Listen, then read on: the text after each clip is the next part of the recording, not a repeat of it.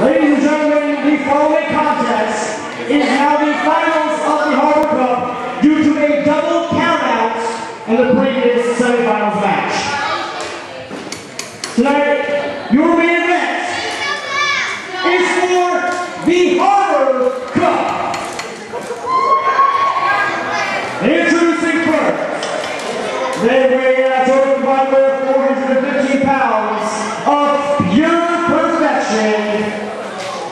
entire team of Johnny Mercury.